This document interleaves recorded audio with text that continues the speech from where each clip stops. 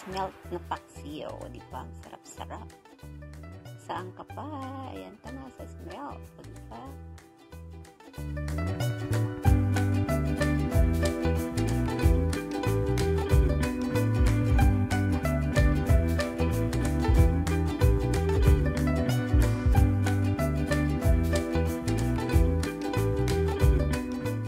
Hello, hello sa lahat.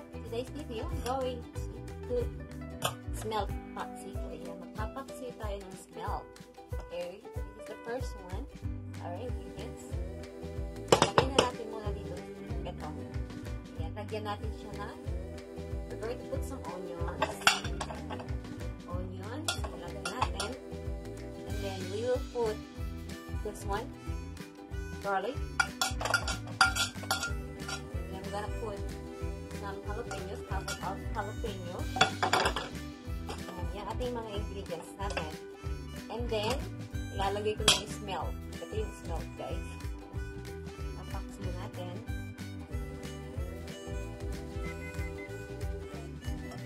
Yan. Hindi masarap ang ating pagkain ngayon. Yan. Alright, ilagay na natin yung smell. And of course, I'm going to put some ginger or luya. Yan, nagagay natin yan. At lalagyan natin ng, siyempre, ampalaya. Ayan, either bird or either melon. We're going to put ampalaya. Ayan. And, lalagyan ko siya ng eggplant or talong. Lalagyan natin yung talong sa ibabaw. Okay, kung mga gulay sa ibabaw guys, para mas, kasi mas madaling maluto yan. Yan.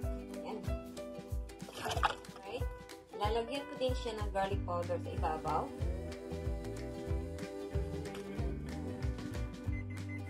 And garlic salt. Kaya na ba, guys, ang bahalang magtansya kung gaano parami. And of course, of course, hindi mawawala ang black pepper. Kahit maraming black pepper ang lagay nyo. Kasi mas masarap pag mas maraming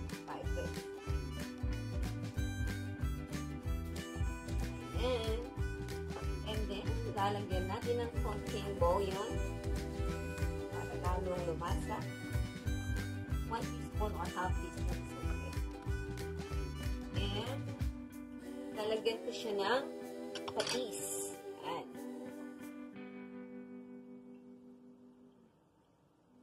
Lalagyan ko siya ng 2 tablespoon na patis. Pampalasa lang siya. Lalagyan ko ng half or 1 teaspoon of olive oil.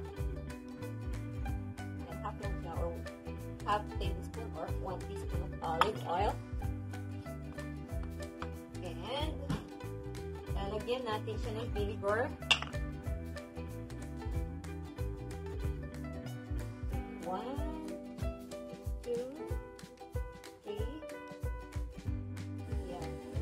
muna, 4 tablespoon munang ilalagay natin.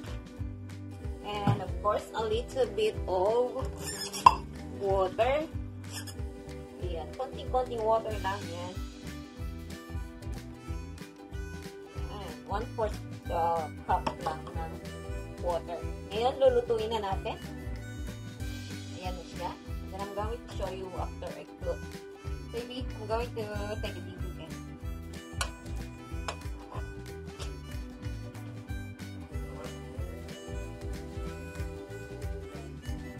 we go. Ayan, luto na guys ang ating paksiw na smell. At, yeah. Ayan, lutong-luto na. Ilalagay na natin sa lagayan. Yan ang ating paksiw. Sarap-sarap.